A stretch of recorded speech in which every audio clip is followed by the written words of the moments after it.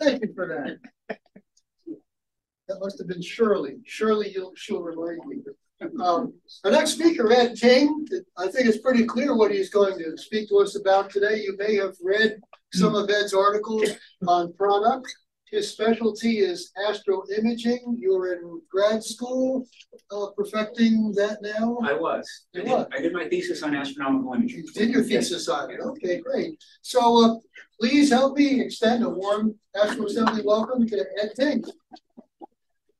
Thank you so much for coming, folks. Um, I used to begin every talk by saying, "Can you hear me?" And then, uh, so one time I, I, I said that, and then some guy came up to me afterwards and he said, I can't hear you. How am I supposed to tell you? Can't hear you.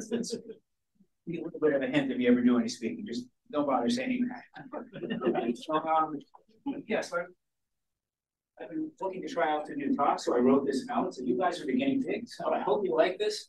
Uh, let me know if you enjoy this, and uh, I'll make some adjustments and we'll see how, how this goes. So again, I, I do have a lot of equipment. Um, I was talking with somebody outside. I own about 40 telescopes right now. and um, uh, that's actually not even close to the biggest collection in our club.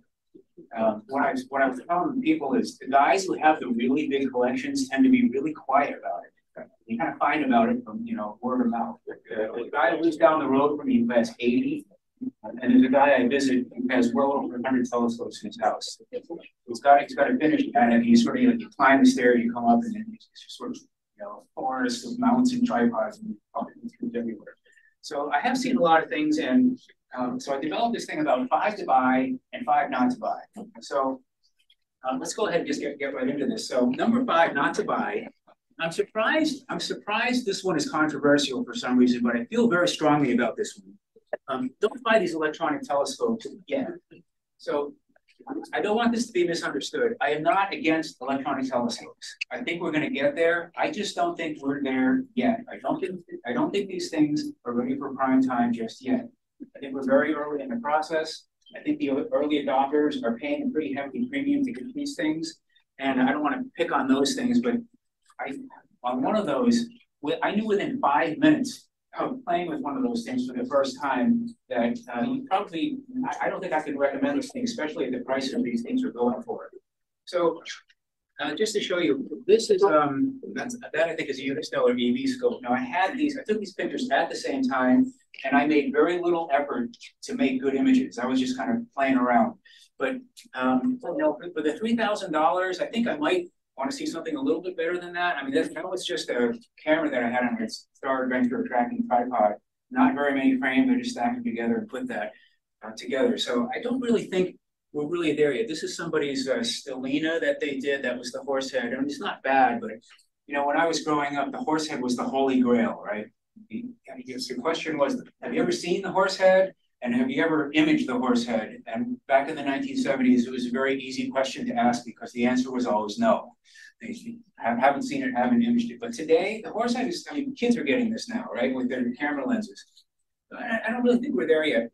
So again, my, my message is, um, the, I don't think the performance is there yet. I think that um, the price is too high so far. And what's weird is, I mean, most of these, you still can't change the magnification, right? I mean, I haven't kept on top of, I mean, did you buy a telescope and you can't change the magnification? I mean, it's, it seems kind of weird to me. So the magnification that you get on these is fixed. And because it's fixed, and I don't know about you, if you ever played with one of these things, it's always either too high or it's too low. It's like, I wish I could back off a bit or get a little bit closer. And what's really odd is they don't seem to be very good on the planets and the moon right now, which is strange to me because that's how you're supposed to do it. I mean, right? That's how you're supposed to do planetary and lunar imaging. You take lots of images and then you stack them in greater stacks and then it doesn't sync, which is allegedly what this thing is supposed to do. I'm not really seeing um, a lot of great lunar and planetary images out of these things. And that last one is the one that concerns me.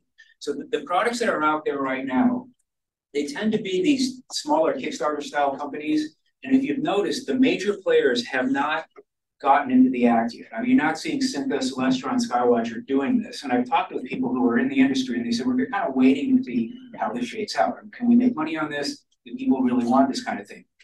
you know, if the Syntas of the world get involved in this kind of market, uh, you know, I, am concerned about what's going to happen um, with these smaller Kickstarter companies because they'll bring their production and their economies of scale to, bear on this. And you know, I'm, I'm concerned about what's going to happen to these smaller companies. So I, I'm getting people who write me. There, there's a guy who wrote me, and he had he took an eight by fifty binder, and he put a chip at the end of it.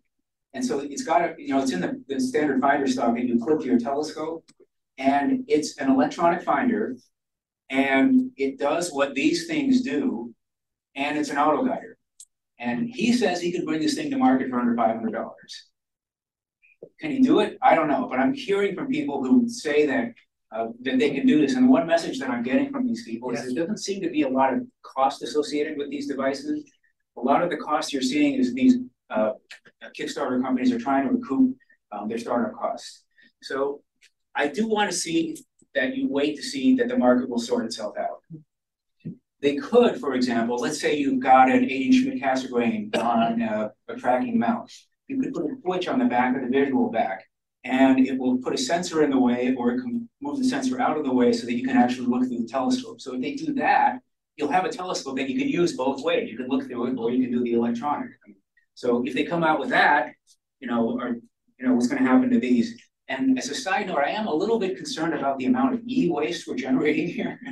Uh, so if you think about it, if you buy a telescope, a traditional optical telescope, and you take care of it, that thing will still be good 50 years from now.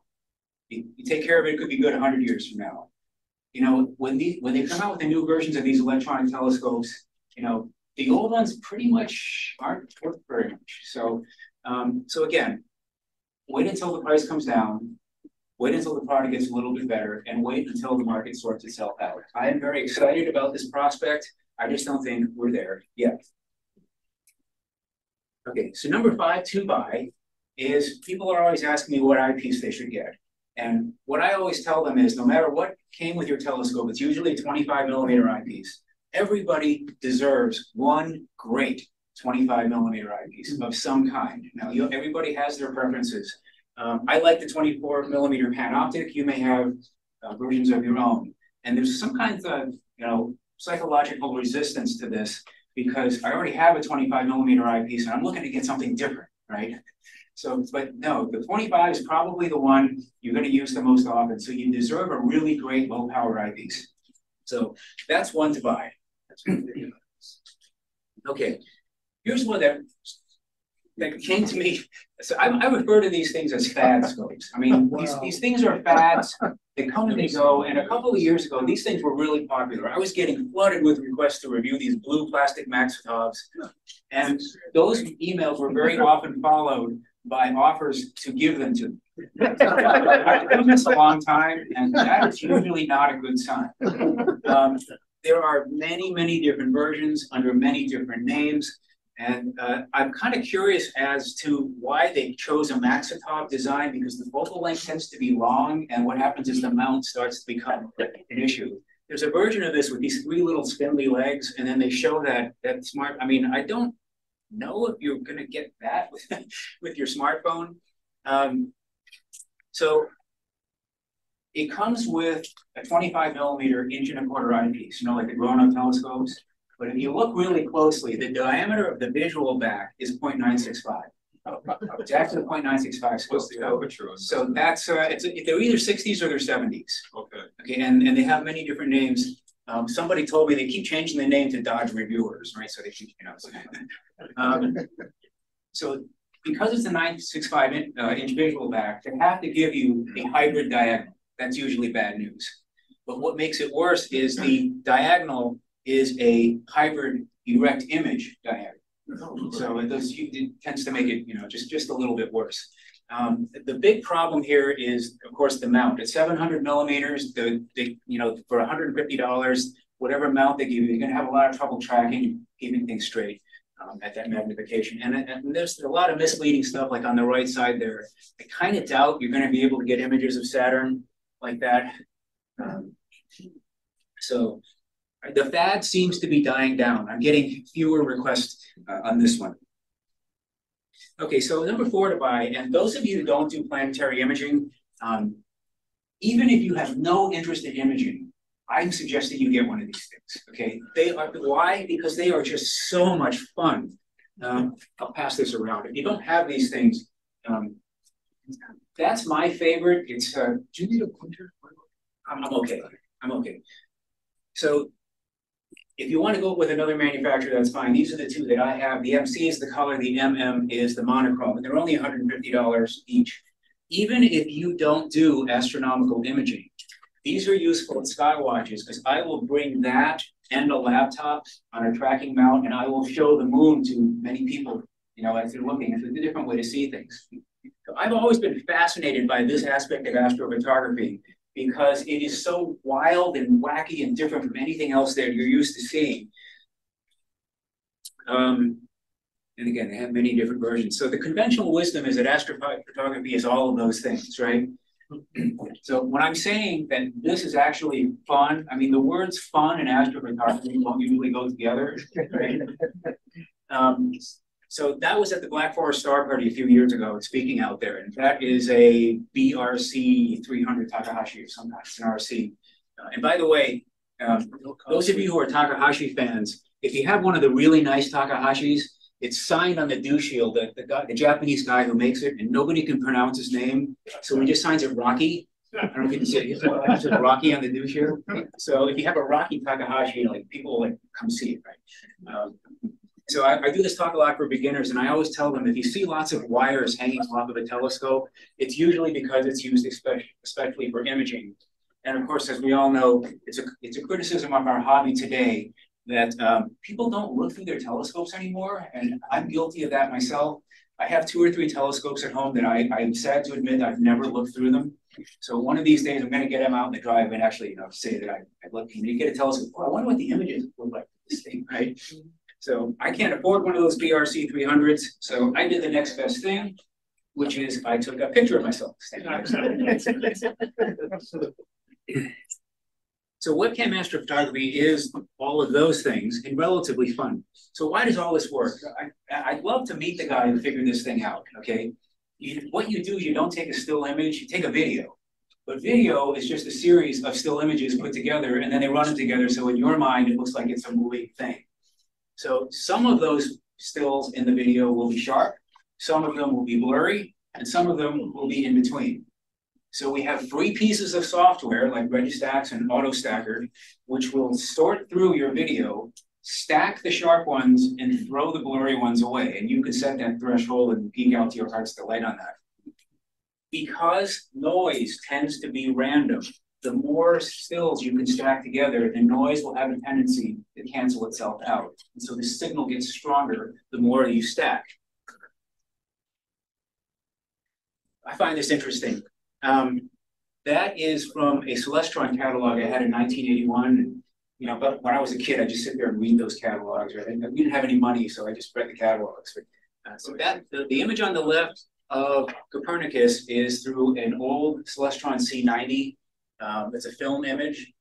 The image on the right is through a C14.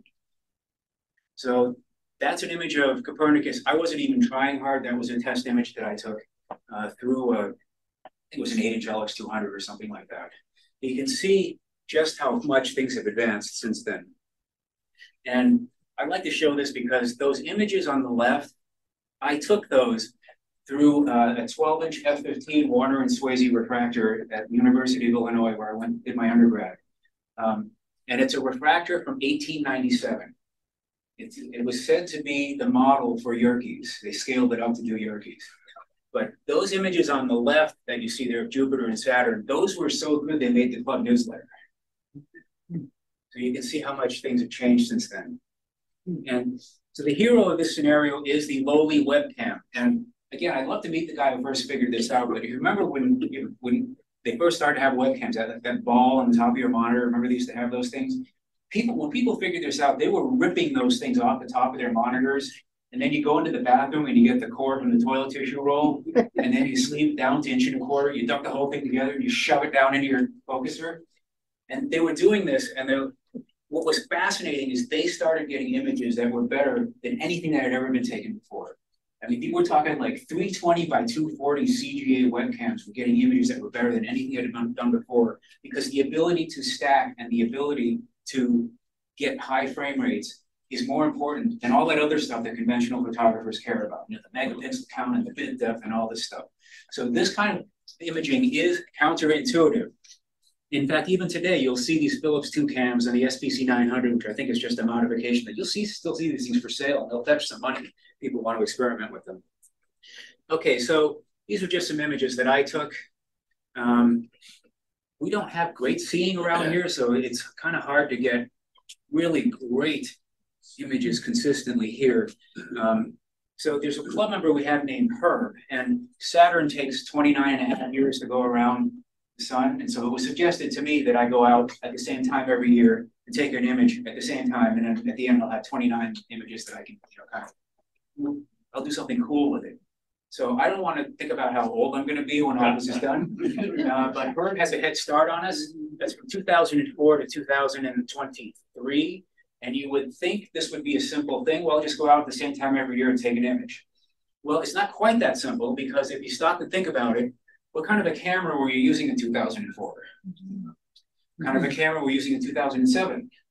See, every three or four years, there was a complete turnover in the equipment and in the technique. So there's actually quite a bit of adjustment there. And I think 2010 is my favorite there. I, he actually, it was a clear night during one of the two or three nights of the year when the rings appeared to disappear. And I kind of wish he'd left it like that. He wanted to wait until the rings would open up a little bit. But I kind of wish that he had done that. And you can have a lot of fun with this. Um, that's an H solar image. Uh, the image on the lower right is a calcium K image that I took uh, through my stowaway, I believe. And so if you've never used a calcium K diagonal, it's a purple diagonal that you stick in any telescope. And the problem with calcium K is that band is just at the edge of human perception. So the older you are, I mean, I'm 59 years old now, I couldn't see anything. So you get a younger person in this, oh, that looks really cool. The sun's purple and it's got sunspots in it, right? Uh, there's also an older club member about my age who got cataract surgery, and he says, now we can see it again. so it's kind of hard to do this, um, even on a laptop, because you can't, it's kind of hard to focus on it. It's like, um, I would have one of those. I borrowed one. I would have one, except the diagonal is sixteen hundred dollars. Ooh, well, I get sixteen hundred dollars. What's the use out of that? So these are these are through eight and ten inch uh, LX two hundreds. There's so I use this as a teaching tool, right? So when I do this for kids, I'll point out that Clavius is a crater with a lot with crater craterlets inside. You see, it starts small and they get bigger, sort of like a horn of plenty thing.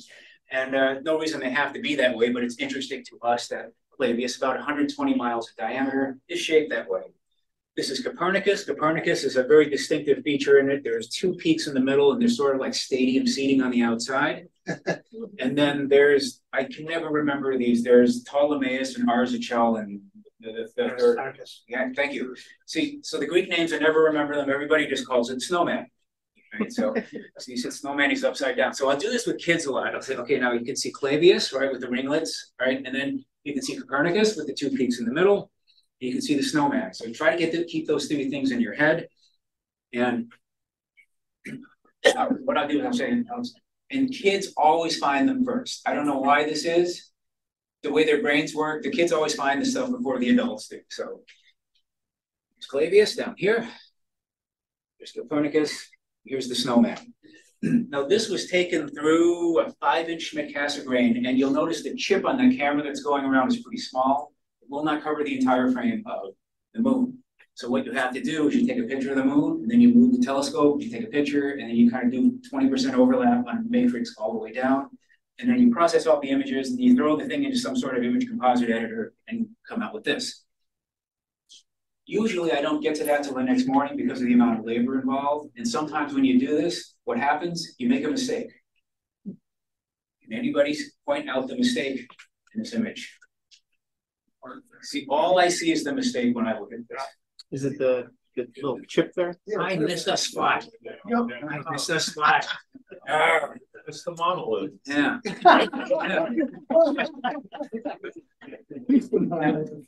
Someone pointed out, I could sample a piece of the thing, turn it around, put it back in, but you know, I don't know, right, I don't know. It's crazy. And, uh, so you, you can have this happen to you, that's fun. That's the monolith. That's a monolith too, yeah. So I, I think the next slide is just, because it's a video, people have asked me, has anything interesting ever happened to you while you're attempting to do one of these? Hopefully this works. Okay, so you have to look carefully because Oh, this is yeah. obviously unplanned. Be exhausted after. Yeah. One more time. Uh, shoot. Whoops.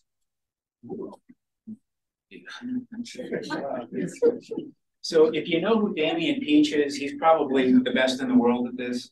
And I, I've asked him how he does this, because he does it with a 12 and a half inch Newtonian that I think is semi-homemade. And he's determined that the best place to do this is Barbados.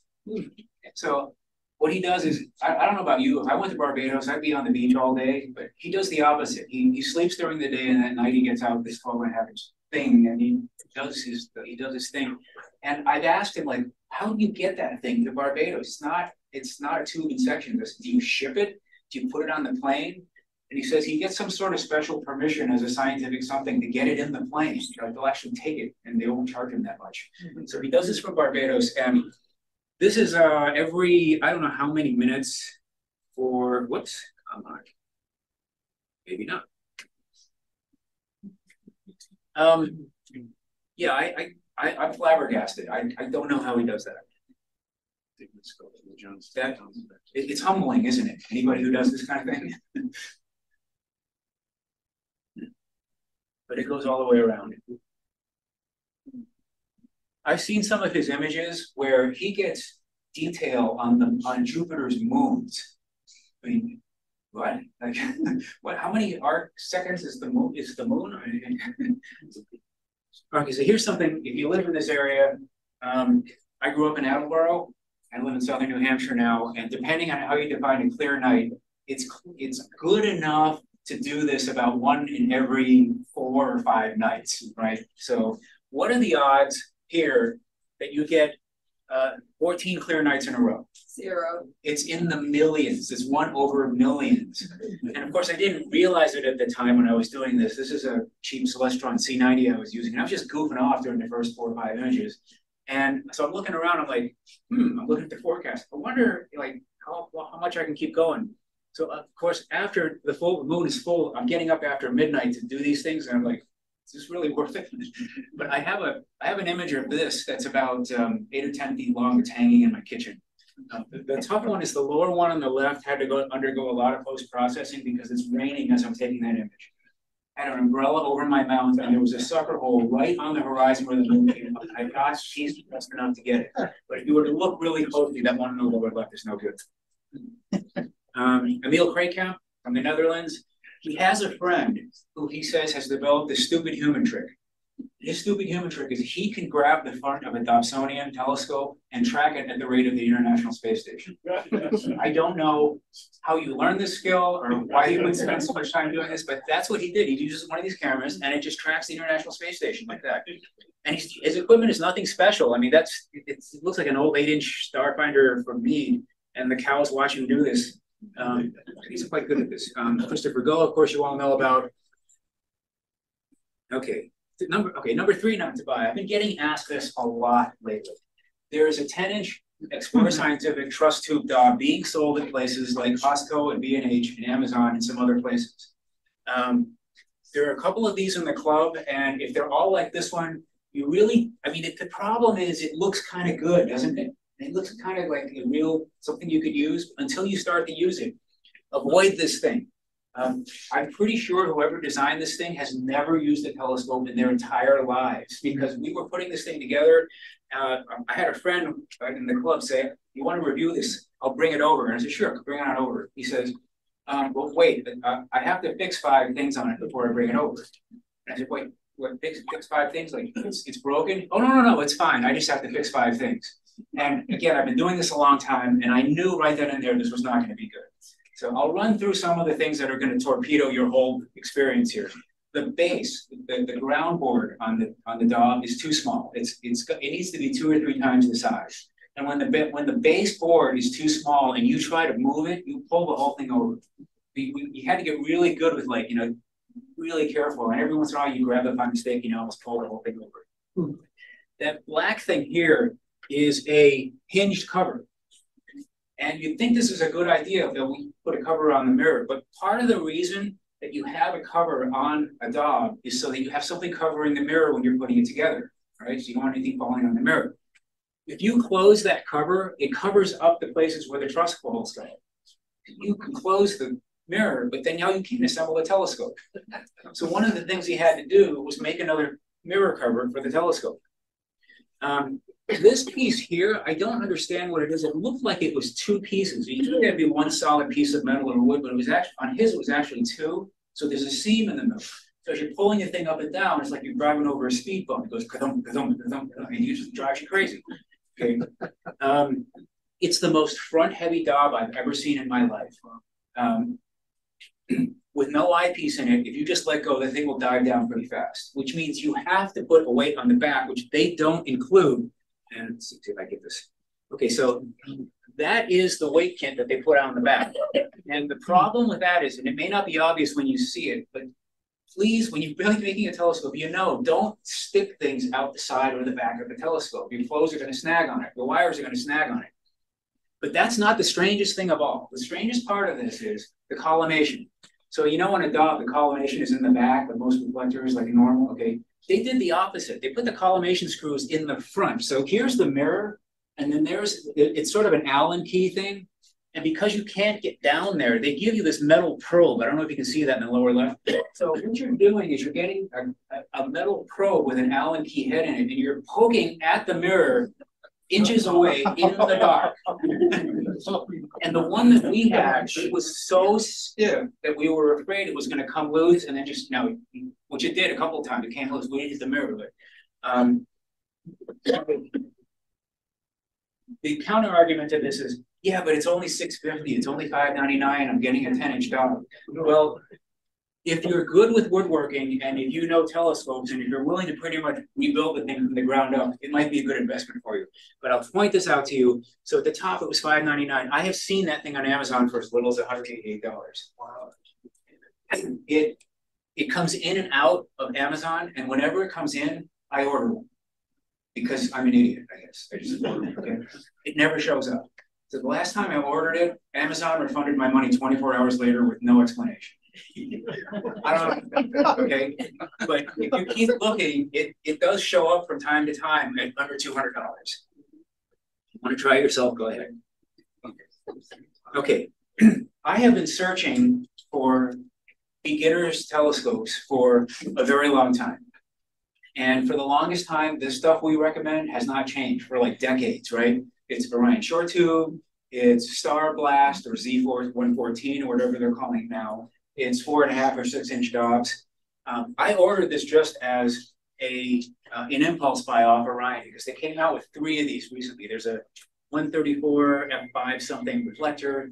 There's an f114 f4 refract reflector, and then there's a 90 millimeter refractor. I think $250. So I bought this thing, and I'm expecting nothing. And as I'm putting it, to, first of all, the box comes in, and the box is bigger and heavier than I expected. Good sign. So I'm putting it together. That mount because the cheap scopes, what does those in is the mount, right? It's the optics are usually serviceable. It's the mount that does it in. Um, they actually completely redesigned these cheap mounts, like those EQ1s and EQ2s that we've all been putting up with for far too long. This is better. It's actually usable. And I've got a video coming out on this thing, but I really couldn't find anything wrong with this for the money. So the only thing that I might caution you against um, and I, I don't know if I'm splitting hairs at this price range or not, um, is that focuser. It's a plastic focuser, and you look at look at how high profile that thing is. The um, the eyepiece is sitting something like seven inches off the top of the thing, so you know it's sticking out. You know, like bump it against something. I don't know if you're going to be able to find a replacement for that if you break that. Um, The draw tube looks like it's metal, it's actually plastic that's painted chrome. And so if you, if you reef down too much of the knob, you can strip those gears. It is a concern. I'm, it's, they got almost everything else right. The rings and the plate are first rate. I you almost can't get any better on the rings and the plate. So I know they can do it, but they put a plastic focuser on it. I'm hoping in Mark II version, maybe they'll fix that. But, you know, uh, Starblast also has a plastic focuser on it, and it doesn't come with a mount. You have to find something to set it on. So for 250, I found them on Orion's clearance section for under $200. Okay, so I'm happy that I have something else beginner that I can recommend to people. Um, the the IP says super on it. Okay, well, okay, let's give it one piece of marketing. It's a super. It's they're awfully light. okay, so here's one. So I'm actually thinking about doing a video called Five Controversial Opinions That I Have. And one of the controversial opinions I have is that don't count on electronic mounts of any kind being 100%. Because I think that beginners, they see the ads and they'll see like, oh, if I buy this $300 go-to telescope, it'll go to 64,000 objects by itself. And then they're disappointed when it doesn't do that. And what I find is when beginners don't have success with those mounts, they have a tendency to blame themselves. What they'll say is, you know what? I must not be doing that right. You know, that the manual said I had to level the tripod, and I didn't level the tripod. And that must be why it's not working. Well, no, I mean, I never level my tripods, folks. Never. okay. Um, and I don't mean to pick on those guys. Um, I've said things, I go back and forth on that NexStar. I think I find some really good ones that are good, and then I find ones that are like, what was that? I've got a Nexstar right now, and it's really good, but it's been back to Celestron three times. Um, so, I mean, ETX, I'm, I've talked a lot about those things. Again, they run hot and cold, but I'll see some really good ones, and I'm like, well, maybe I can just say I can recommend these things. And then I'll see a couple like, I don't think I should have left the factory the way, the way that thing was in. So, um, what I find with beginners is beginners are very often surprised to learn that they will sometimes sell stuff that doesn't work. And when I was younger, it was the 675 power 50 millimeter refractor, right? That, that's what you were going to do. That you're going to pump that thing up to 675 power, and it would never work, right? It seems like these days it's the cheap electronic mount that sometimes doesn't work, right? You know, um, and even some of the most expensive stuff that you can buy will occasionally fail. These are computers, they glitch, they crash, they have to be reset. You got to reset them to the factory settings. Every once in a while, you're going to have to do these things. Um, I had a friend, I have a friend right now with a Paramount. Now, Paramount is a quote unquote dumb mount. There's very little electronics in Paramount. All the brains are in your computer. It failed on it. He's got an Astro-Physics Hondros on it. We got to get up there and get an 80 pound thing off the off the uh, off the mount. Um, I have another friend flew to Costa Rica with an AP 130 and one of the big one of the big AP mounts. It worked for a night and then it stopped working. This is an Astro-Physics mount. And he was on the phone with George for, I don't know, hours. And where he was in Costa Rica, there was no cell phone coverage. But he had the wherewithal to bring a satellite phone with him. What does a satellite phone cost per minute? For hours? But he's, he said he could, he could hear the dollar signs going in his head as he's talking to George. It took hours to fix the problem. He fixed it. But um, what else is he going to do, right? Going to not use it? You, got to do it. So even the best stuff will occasionally fail. Um, so I'm often asked what I think about LX200s. I think those are usually pretty solid buys. I would tend to steer you towards buying those new as opposed to used.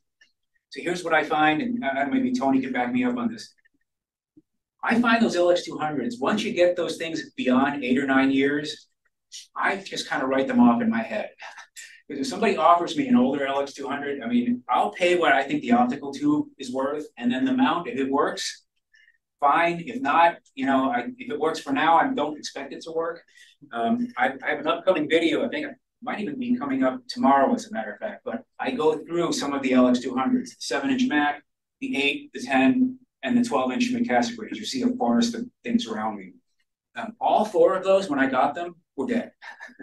now they're all more than 10 years old, but each one of them seems to have a kind of quirk that doesn't really, you know, I don't. Know, the eight inch had a bad declination board. Um, they don't support that anymore.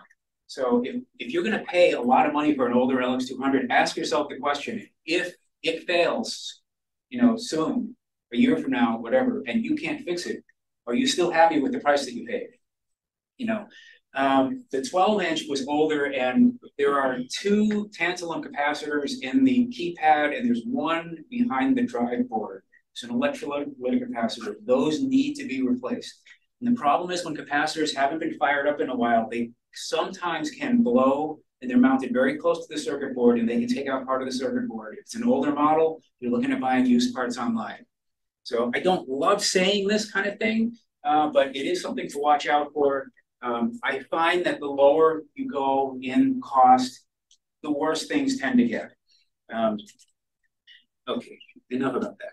Oh, I'll say this too. Um, so not long ago, I had in for review a certain go-to mount, and I was going to do a review for a certain well-known astronomy magazine. Um, we had to terminate the review. It, the, the, particulars aren't important, but it was an inexpensive mount, and I, it's very rare that I get a product in that's just a zero. I, I mean, nothing. I get nothing. Um, I, it was so bad that I became convinced or half convinced that maybe I was doing something wrong. And uh, so I, I, called a friend over, and I said, I, I haven't said anything to anybody yet. I'm gonna just bring your tablet over, sit in the driveway, and just do whatever you want. I'll be inside. He comes in an hour and a half later, and he's like, yeah, nothing. Um, so the person at the manufacturer, I think, was trying to do damage control, and he tried to imply that maybe I wasn't using it right. And he said, I guarantee you the problem is that you're letting the thing time out on your tablet. And I'm like, no, no, no, it, it, it didn't work at all. I didn't get that far. It didn't work at all. And the second thing about this statement is, so if you think about it, he's admitting that he knows there is a problem with the thing timing out, right? Um, I had well, I hate to hate, I hate to name names, but that Orion Sirius mount and the HEQ 5 series mounts, I, this is just me. I have never personally seen one of those things working. Okay, the variant in the US is called the Orion Sirius, and I know they do work because people I know and respect have them and tell me that they work. I'm just telling you, I've never seen one working. So the last two Orion Sirius mounts that I had, and I wanted the C9 and a quarter that he had on it. That's what I wanted. But he wouldn't sell it to me unless he sold me the mount, which kind of tells you something right there. and so I got it and, and, it just doesn't work, right? So I put it up for sale and I was pretty open, I thought about what I thought about the mount. And somebody who came over, he said, um, well, I read on the internet that this is the best mount. Somebody said it was the best mount. He said, well, I'm not going to sell it to you until we use, I want to show you. It was a clear night out. So I do the alignment, do the two-star align, and it's just way off. It doesn't work. I, I cycle power to the mount, I give him the controller. I, want, I wanted him to do it. Two reasons. Number one, I wanted him to see that it didn't work. And number two, maybe this guy knows something I don't, and I'm using it wrong. Okay, so he does the does the alignment, and his alignment's worse than mine. I thought what happened next was interesting. He thought about it for a while, and he decided to believe what he read on the internet as opposed to what he was seeing with his own eyes. I'll take it. So, okay, I've done everything I can. Take it. Um, several years later, I asked a mutual acquaintances, you know, what, whatever happened with that guy? Yeah, he never got to work. So, um, I'm not telling you not to buy that mount. I'm just saying, for my money, I would not buy one. okay, so so this is an obvious one. As number two to buy is books. And those are, of course, the prototypical books to buy. I still, I have two sets of these. I have an upstairs set and a downstairs set. Because if, if the if the urge strikes me to read Burnham's Celestial Handbook or to dip into it, I don't want to have to climb or descend stairs to get in my way of me looking in that book. Um, the guy, I don't, he writes like a poet. He's referencing mythology and literature and opera and religion, and philosophy, and all these uh, music and all these sort of things. Um, some of the the scientific data in there is, you know, it's a little off because he was doing all he was doing all this himself. But that's one of my favorite books of all time. So I'll just go through a couple of these. Uh, we all know that book on the upper left here. This is the latest version of Turn Left at Orion. So if you want to take a look at that, um, that's my favorite beginner's book on finding stuff. Um, the Stars by H.A. Rey. So, you know, this book here by the by the um, creative Curious George there's an H.A. Rey Cultural Center in Waterville Valley, New Hampshire. I'm a regular speaker up there. It's a Rey Cultural Center. The observatory behind there is empty, and it uh, the the dome slit doesn't work. They just store junk in it right now. Um, they're trying to raise some money to revive that thing, and I hope they do at some point, but inside, there is all sorts of Curious George memorabilia, including some memorabilia on that particular book. So Hans and Margaret Rey wrote the Curious George series uh, in Paris days, they had it finished days before the Nazis came in. Led the Nazis from Germany on their bicycles, carrying the Curious George manuscript with them. And it's wound up in South America and in some places in the Northeast here. So that is the H.A. Rey Cultural Center. Um, like we all have planispheres. This one's my favorite. The problem with planispheres is they're usually too small, right? They've only got like 100 stars on them. This one's, a, it's almost like a mini atlas. Like, I like this. Like, you can actually use this thing. It's got some useful data on the back. Um, like $40 or so. $20 at Barnes and Noble. $20 at Barnes and Noble. Excellent. Even better. All right. Um, my favorite small atlas. Now, I used to use the Cambridge Star Atlas, and I like that a lot. And this has become my favorite. This is Sky and Telescope's Pocket Atlas, but it's the jumbo edition. And it sounds kind of a, like an oxymoron. It's a pocket atlas, but it's the jumbo edition. But they, it's one of the few non-Wil Tirion illustrated star atlases out there. But this is the one that I use the most often, and that's that one's getting kind of worn out. Um, I'm going to be getting another one at some point. So here's the so here's the thing. Does anybody know for sure what's happening with Willmann-Bell? They're out of business. They, Yeah, they yeah, sold South to the AAS, But did but they don't have a lot of stuff. okay, but did Sky and Telescope was that were they involved at some point? AAS owns Sky Telescope. Okay. Blackstar. but I don't see a lot of titles coming out. So I don't, there's a, I mean, there's an incredible backlog of catalog of books in the Willmann-Bell inventory The there. AAS does not keep it up. uh, Okay. They are keeping up Sky Telescope. Okay, so, yeah, this is frustrating to me because I have like a book proposal I want to send out to somebody and I was gonna send it to them. I have no idea if I should be sending it to them or not. Um, this was one of my favorites, and even if you have no interest in binocular astronomy, uh, Wil Tirion used to have this thing called the Bright Star Atlas. It was sixteen pages. So this book at the time was nineteen dollars and the Bright Star Atlas was nineteen dollars. This has the Bright Star Atlas in the back of it. So I copied those and then I laminated. So. Um, this book, I wasn't interested in a Messier Marathon before this book. Harvard Pennington sadly passed away. This is the best book I have found to teach you how to find things fast. Okay, because you have five minutes and 38 seconds on average to find every object in a Messier Marathon. He teaches you how to do it. Um, this terrific book. I like it a lot. Again, the Willmann-Bell stuff, I, I just don't know if it's yeah. So if, if you're, if you're a little bit beyond the beginner stage, there's two books I really like to geek out on, and again, these are both Will, Willmann-Bell books. This one's Star Testing Astronomical Telescopes. So you know that star test we do where rack the focus and out and you look at the images? This is a whole book where you get to geek out on that. And you wouldn't think he could sustain two hundred pages worth of your interest, he does. It just makes you want to go out and test your telescope. And then this one, Telescope Optics, this is, this is a really good one to geek out on also. Um, number one not to buy. So I had a lot of questions on this because there are worse telescopes than the Celestron Power Seeker 127, but this one gets everybody's ire because it sells so well. And there are so many of those things out there. Um, people have asked me, what happened to that sample? Because if you watch the video, um, the guy who loaned this to me made no effort to get it back. And I said, I concluded the video by saying, no such luck, you're getting this back. Um, so the finder, the finder is interesting. It's labeled as a five by 24, but look at the field stop. What's that about 10 millimeters worth of finder there? I mean, your human eye is what, seven millimeters? And it's got better optics than that thing does. Um, so these are the accessories, and I thought I'd pass these around. But when you get this, um, there's a feel how feel the how light the Barlow lens is, and the 20 millimeter eyepiece. I don't mean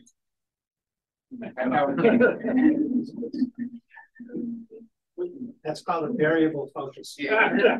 well, the, the lens is actually tilted sideways in it. I don't know how to. I, I could probably get a screwdriver and try to push it straight. Um, so it's hundred twenty-seven millimeters, but it's got a thousand millimeter focal length on it. And if you can look, there is no way that thing is a thousand millimeters long. Right, so there's that Barlow lens in the focuser with the Bird Jones type design. It's poorly executed. They're very difficult to collimate. If you try to collimate it, um, when you don't know if it's the lens that's throwing off your collimation, if you try to take it out, now the focus plane has changed, but the focuser no longer finds correct focus. You try to put it back in, it's kind of hard to put it back in in the same direction it came out in. So yeah, don't buy this. Okay, so number one is, of course, people are tired of hearing me say this. Just get a six or eight inch Dobsonian reflector. It's chip, it's simple, it's cheap, it'll last you a long time, possibly even forever. For four hundred and fifty to six hundred and fifty dollars, even with inflation today, still pound for pound, dollar for dollar, the best thing you can buy. And I had a recent video where I compared all of those together. That's the four and a half, the six, the eight, the ten, and the twelve and a half. So I believe that is the end.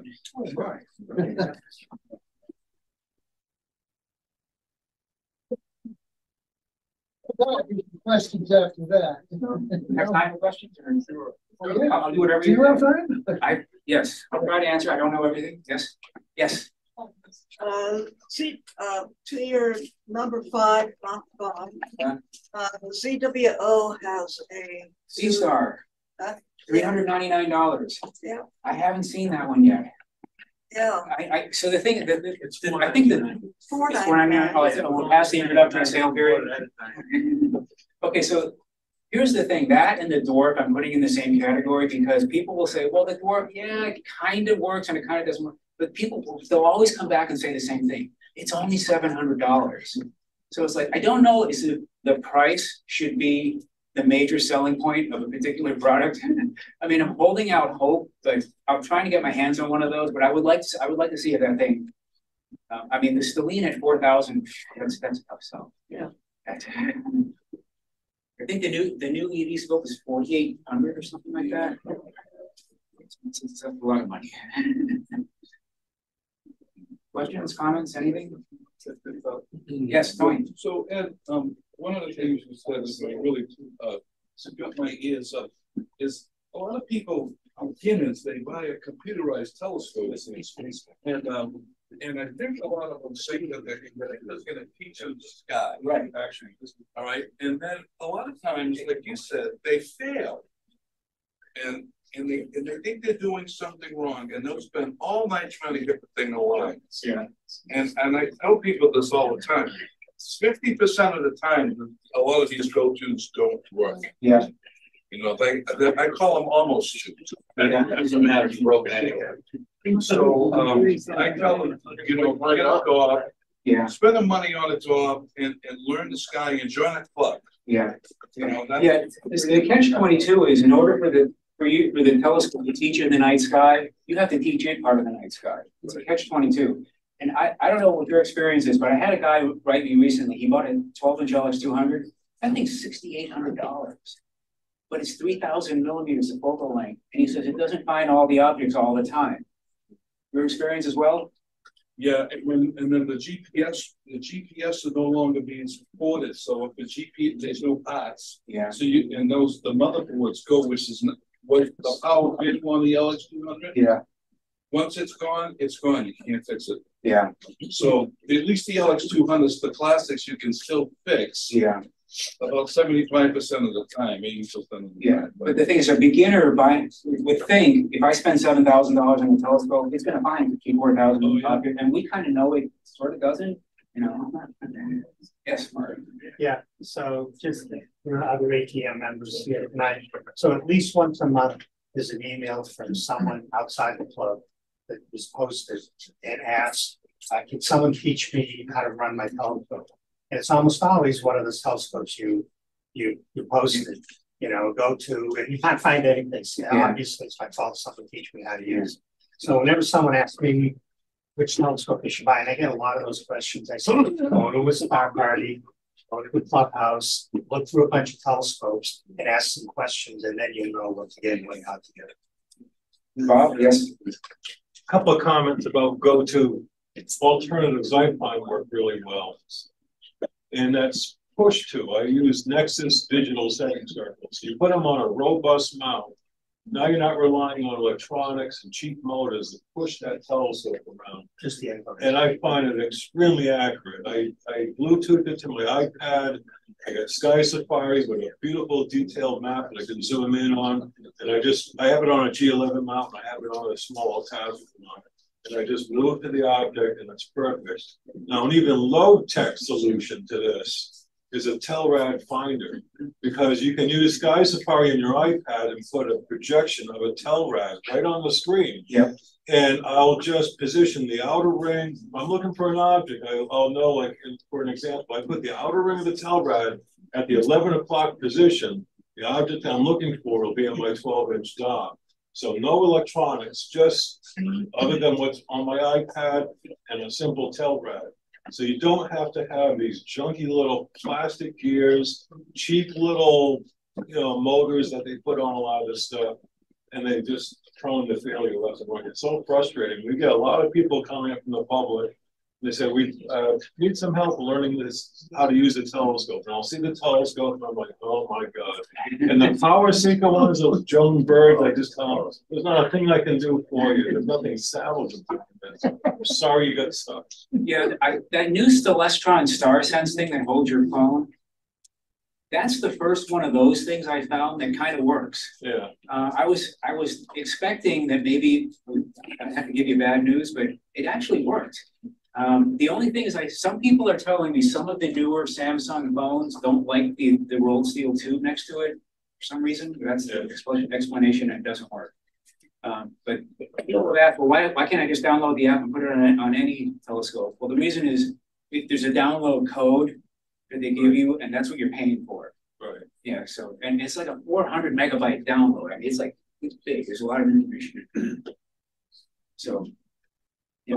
The, um, you can get, um, um, Sky Sky Safari and run it at six on the phone and run it in, six has the AR and you can mount it on your telescope, it does the same yeah, thing. yeah, yeah, And that's fourteen dollars. fourteen dollars, yeah. Seven doesn't work. Anything else? I'll be up here for a little while, so, Thank you very much. thanks so much for